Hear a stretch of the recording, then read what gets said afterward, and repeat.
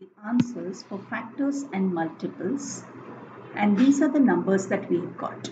For 39, so for all the numbers remember 1 is a factor. So let's start with 1 and 1 multiplied by what gives you 39 and that would be 39 itself. So we write 39 here. And the next number it's not divisible by 2 so let's look at 3 so it's 3 is a factor 3 multiplied by what number? So 3 multiplied by 13 gives you 39. Now let's look at 42. So as I told you, start with 1 and 42 is a factor. Does it go in 2 times table? Yes, it ends in 2. So it goes in 2 times table. 2 multiplied by 21. Does it go in 3 times table? Yes, it is 3 multiplied by 14. What about the 4 times table? No, it does not go in the 4 times table.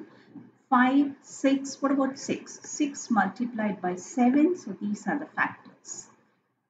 For 24, we have 1 multiplied by 24, so we have 1 and 24 as factors.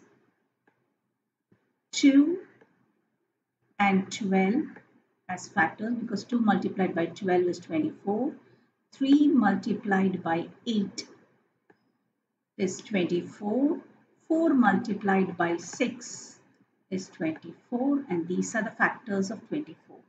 Let's look at 99. 1 and 99 are factors.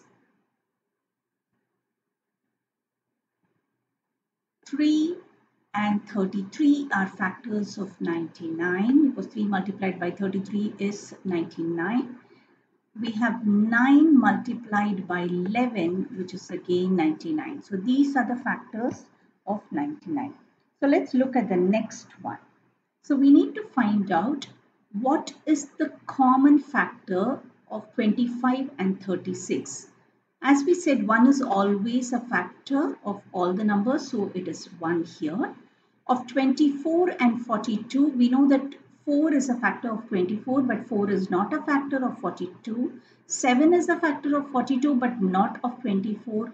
2 yes happens to be a factor of both 24 as well as 42. So the answer is 2. For 35 and 70, we know that 3 is not a factor of 35. 15 is not a factor of 35. 70 is not a factor of 35. 7 is a factor of 35 and 7 is a factor of 72. So the answer is 7. So let's look, let's circle 7. Yes. Let's look at the next one. So the next one is the factor tree. So remember, factor tree is where you're going to write that particular number and split it. In the first case, we have 18 which is split as 2 multiplied by some number. So 2 multiplied by what gives you 18? 2 multiplied by 9. So your A is 9. Make a note of it. Now A which is 9 is now split as 3 multiplied by what? So your C is 3 multiplied by 3. So C happens to be 3. And what is B? B is just carried forward as 2 here. So it remains 2. Let's look at the next one. 20 is 5 multiplied by what number? 5 fours are 20. So A is 4. And here A is again split as something into 2. So 4 is 2 into what? So B happens to be 2. And here we have 5 which is brought down as C. So C is 5. 66 is 11 multiplied by what number? So 11 into 6 is 66 and 6 is split as 2 into some number. So 2 into what gives you 6? 2 3s are 6. So B happens to be 3 and C is brought forward here as 11. So this was the factor. Let's now look at what we have here. We have Rehan's mother had asked him to buy a set of flowers. So that's 30 flowers and arrange them equally or arrange them in equal bunches. Oh, there are various combinations that he can uh, do it. So how do they do it and what are the different arrangements? So let's look at 30. So 30 can be written as 1 into 30. So I can have one bunch of 30 flowers. So I can have 1 into 30 So that is one bunch of 30 flowers. Or I can do it as two bunches of 15 flowers, correct? Exactly the way we did the earlier problems. So we could do it as two bunches of 15 flowers. Or I could do it as three bunches of 10 flowers, right? So I have three bunches of 10 flowers each or can I do the 4 times table? It doesn't go in the 4 times table. So can I do it in the 5 times table? Yes, I can have 5 bunches of 6 flowers each.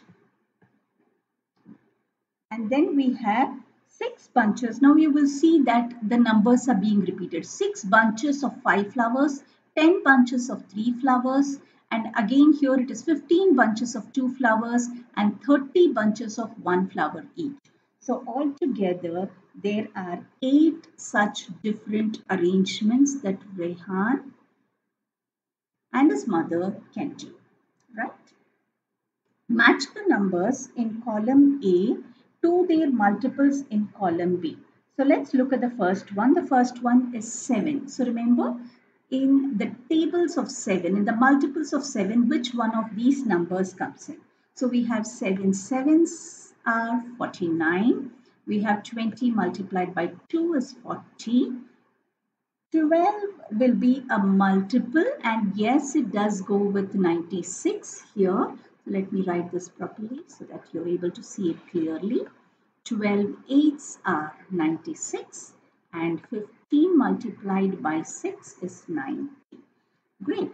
So now let's look at the next one. The next one is forks and forks are sold in uh, are sold 12 in a package. So in each packet you have 12 of those forks and spoons are sold as 20 in a package. Now what do we want to find out? We have to find out an equal number of each item. That means for every fork, we need to have a spoon. What is the least number of fork packages and spoon packages that we will have to buy? So we have to first find out what is the common multiple of 12 and 20. So that is something which we need to find out and we see that yes, 12 ones are 12 12 2s are 24, 12 3s are 36, 12 4s are 48, 12 5s are 60. Let's now look at 20. 21s are 20, 22s are 40, 23s are 60. So we find that 60 is something which is in common. So which means that I can have one fork and one spoon definitely for each of them. So which means I need to buy, as I told you, it is 12, ones are 12, 12 in the second packet. So this is the first packet. In the second packet, I have 24 together. If I buy three packets, it is 36. If I buy four packets, it is 48. And if I buy five packets, it is 60. This is for the forks. Now let's look at the spoons. So if I buy one packet, it is 20. If I buy two packets, it will become 40. And if I buy three packets, it will be 60. And we saw that the common multiple is 60 here and here. So which means we need to buy five fork packages as is given here and three spoon packages. I'm a two-digit number less than 90. I'm a common multiple of 6 and 8. So we need to find out what are the common multiples of 6 and 8 which are less than 90. So we find that the common multiples would be let's say 24. Is 24 a common multiple of both? Yes, perfect.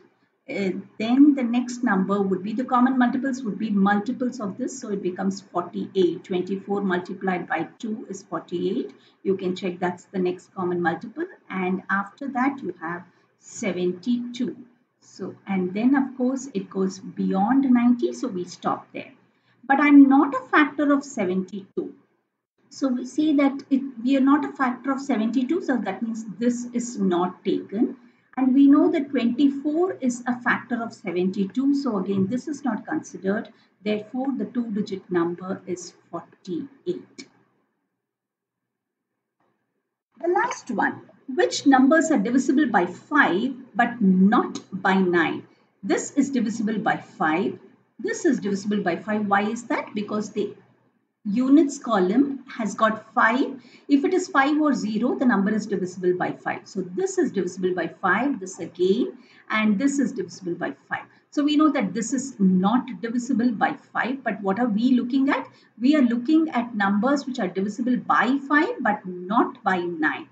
So let's understand what's the divisibility for 9. Add up the digits and if that particular number comes in the 9 times table, then that number is divisible by 9. For example, the first one, 4 plus 8 is 12. 12 plus 5 is 17. 17 plus 2 is 19. 19 plus 5 is 24. 2 plus 4 is 6. Does it come in 9 times table? No. So this is divisible by 5 but not by 9. So this is one option. Let's look at the next one.